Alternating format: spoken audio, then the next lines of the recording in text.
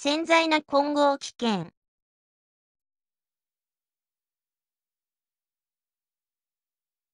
洗剤には大きく分けて塩素系洗剤と酸性洗剤があります。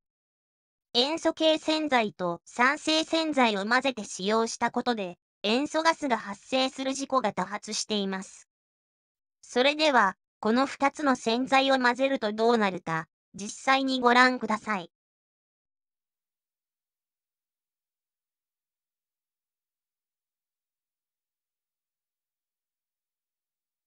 酸性洗剤に塩素系洗剤を混ぜ、塩素ガスが発生しました。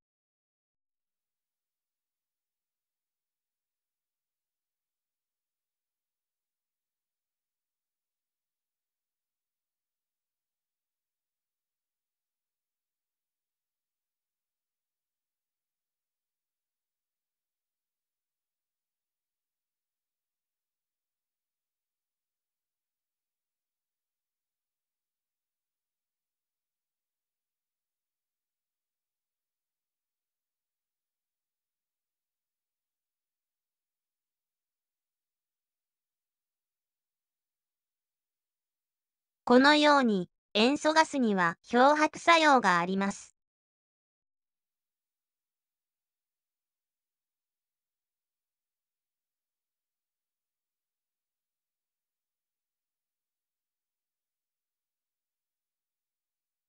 ここで塩素ガスの濃度を測定してみます。